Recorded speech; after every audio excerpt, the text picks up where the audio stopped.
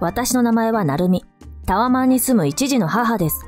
私は小さい頃から変な人に絡まれやすい体質で、そのせいか思ったことはすぐに言うサバサバとした性格になりました。小中で家が近所だった年下の女の子から LINE が来た。特別仲が良かったわけじゃないけど、家が近いからって私がよく面倒を見てたんだよね。そんな子から結婚の報告が来て、普通なら喜ぶべきなんだけど。なるみさん、私結婚します。ごめんなさいね、なるみさんより幸せになっちゃう。ごめんちょびりんこ。小学生のまま外見だけ成長したって感じだね。いい意味で変わってないってこと？悪い意味でもね。来月結婚式なんだけど、参加するよね。来月はもうシフトが決まってるから。ちなみに何日 ?15 日。ごめん、その日は仕事だから無理だ。ええー、せっかく幼馴染のなるみさんに参加してもらいたかったのに。私たちって幼馴染だったの？え？違うの？家が近所でお母さんお父さんが帰ってくるまで家で預かって食事を一緒にするとかあったけど、幼馴染っていうほどじゃないと思ってたわ。私はなるみさんのことを幼馴染だと思ってた。私って小学校の時モテモテで本当に大変だった。またその話 ?3 億回聞いたんだけど。そんなに話してないもん。みんなで遊びに行こうってなって、男女2人のペアで自由行動しようってなった時覚えてる？男子に誰と一緒に動きたいかってアンケートを取ったら、全部私を選んでた。でしょ？そうなの、そうなの。その後女子のみんなが嫉妬しちゃって、男子も気を使って別に誰でもいいから適当に選んだとか、あいうえお順で一番上になる人を選んだだけだからとか、みんな私のことが好きなのに必死に隠しちゃって。小学校ってだいぶ前の話だけど、それだけじゃなくて告白されたこと4回もあるんだよ。小学校が一番告白の回数多かった。小学校なんて1番目に好きなのは誰で？2番目は誰々とかそんな感じでしょ？えー、なるみさん自分がモテないからってそんなこと言ってんの？告白されたことないんだ。いや、小学校時代に告白されたことはあるけど。何人なの？なんでそんなこと言わないといけないの？何人に告白されたの？私より多いからそんなこと言ってるんだよね。言ってみなさいよ。言わない。ほーら、私より可愛くないから告白少ないんでしょ。何人だって他人にベラベラ喋ることはあまりいいことだとは思えない。私より多いの？まあ。私の場合？そんなのありえないよね。まあ、倍というか。もっと多いの？まあいいじゃん、この話は。自分の方がモテてますアピールとか無理なんだけど。私小学校の時本当にモテまくっててやばかったんだから。多分ファンクラブとかできてた。中学校、高校、大学は？は？小学校より上の学年の時はどうだったのかなと思って。覚えてない。小学校が一番古い記憶で覚えてるのに関係ないでしょ覚えてないの。なるほど、そういうことね。なんなのその言い方、気に食わない。過去の栄光にすがるのは良くない。はあ？どこが過去の栄光だって言うのよ。自分は大きなプロジェクトに携わっていて、このゲームの開発もした。とか言ってるのに、本当はちょっと援助のお金を出してただけみたいな話、よくあるよね。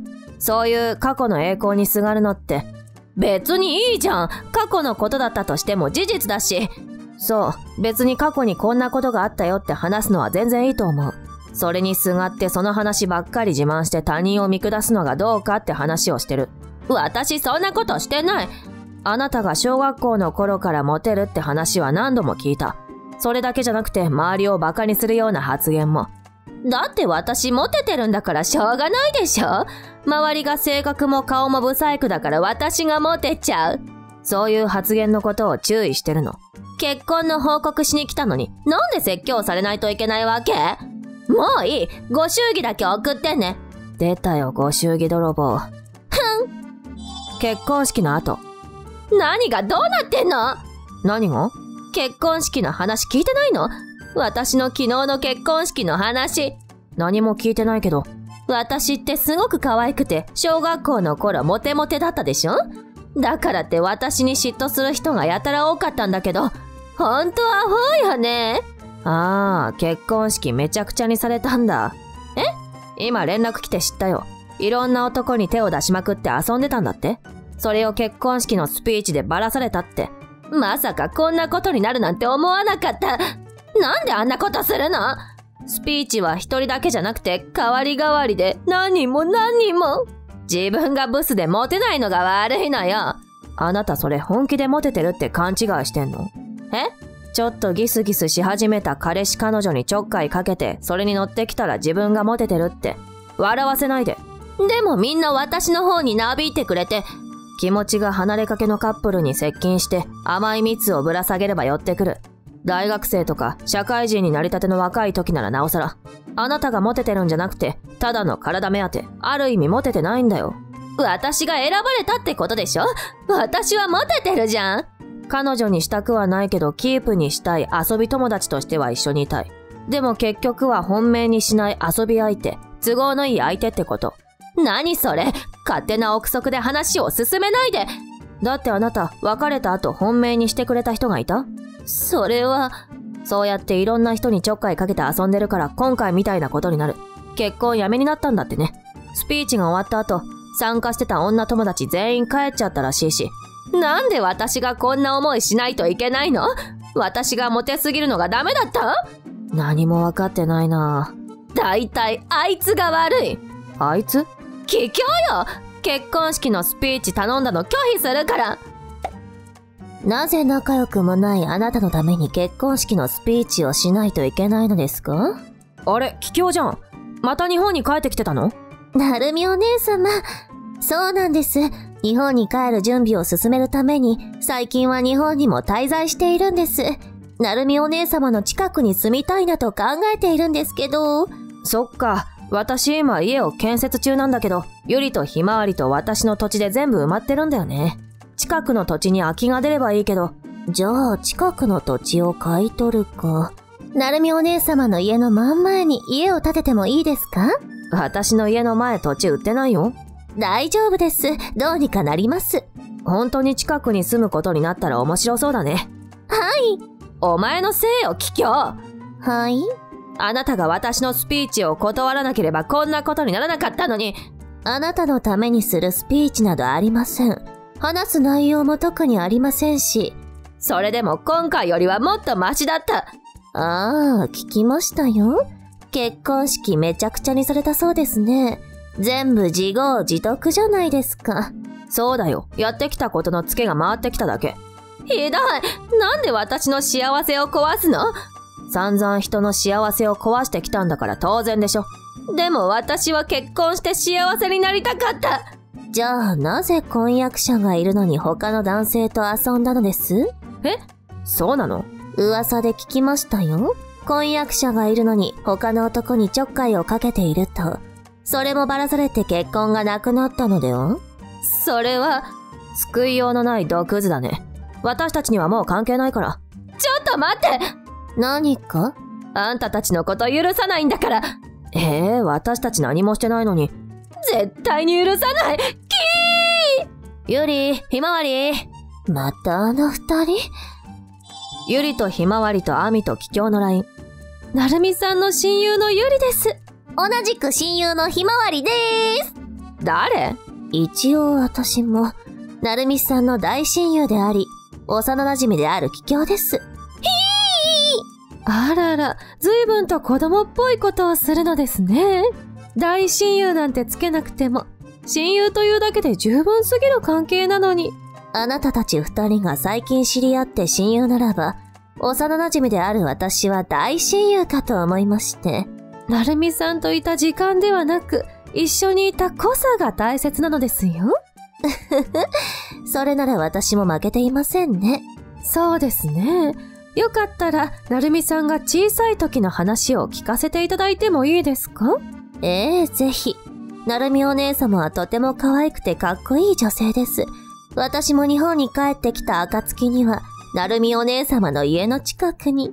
やめてくださいやめてくださいお二人とも仲良くできるならいいですけど、そうやって腹の探り合いをしているうちはダメですまあ、びっくりさせてしまって申し訳ございません。私たち、とても仲良しですのよ。そうですね。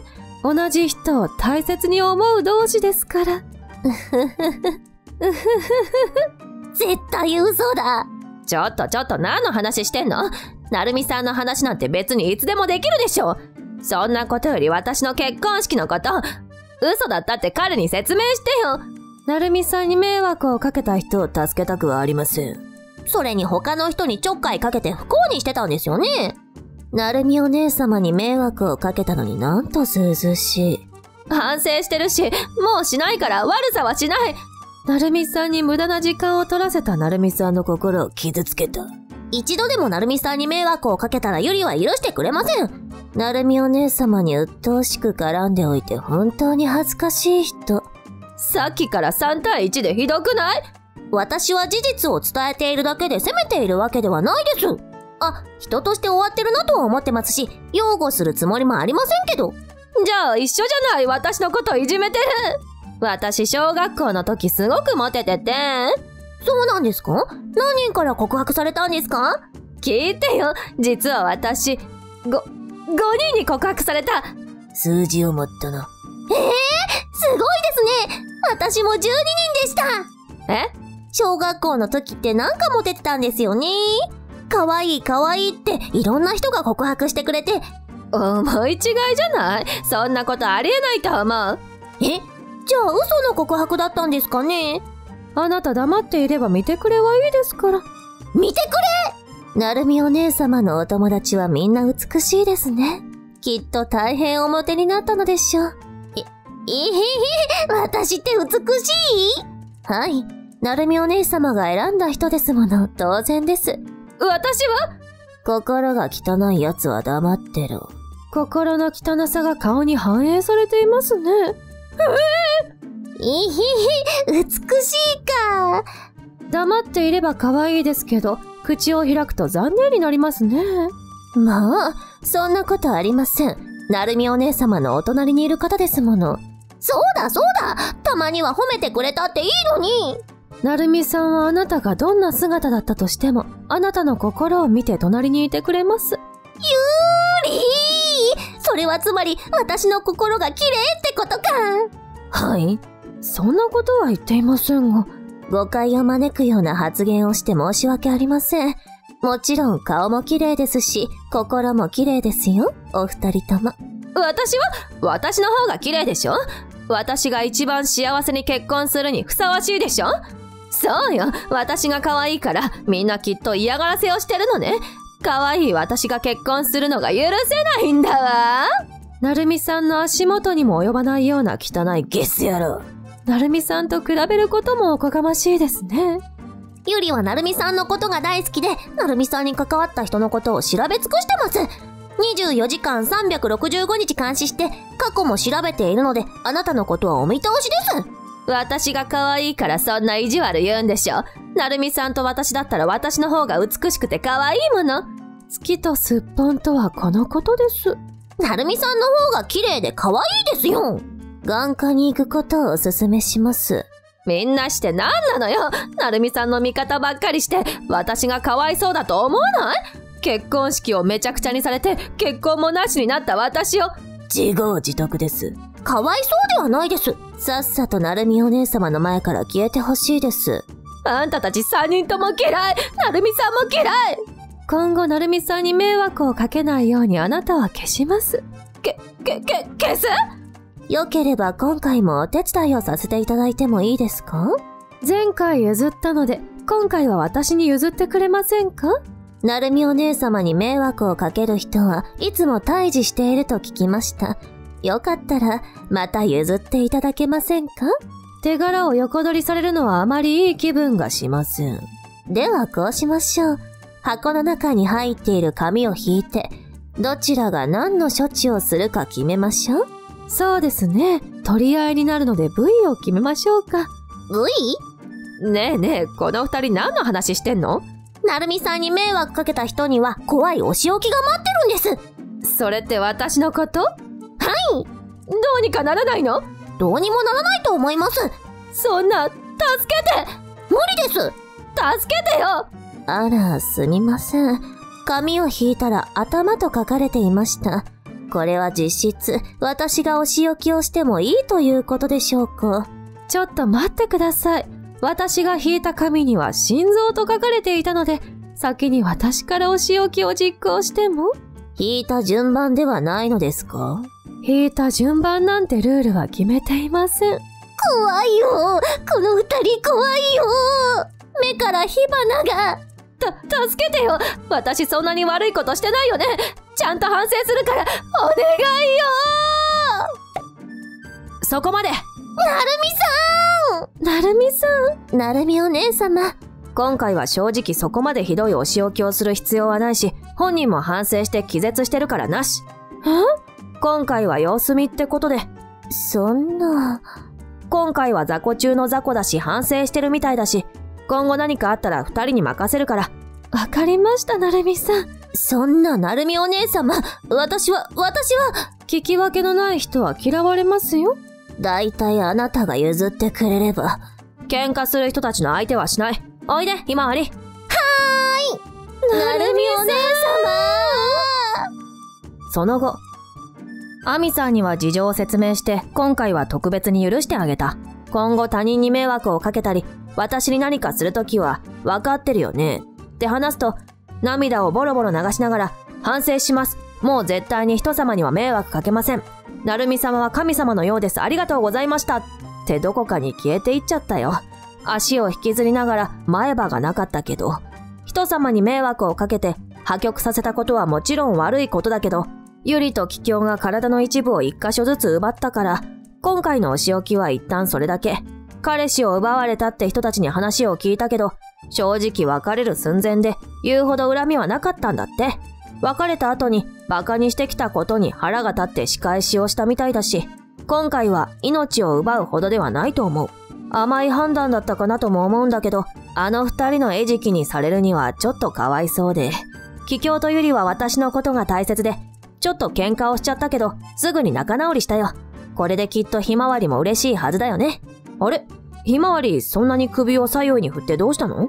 早くキキョウも本格的に日本に帰ってこれるといいね。なるみさんのおバカ最後まで見ていただいてありがとうございました。チャンネル登録、高評価をお願いします。それでは次回の動画でまたお会いしましょう。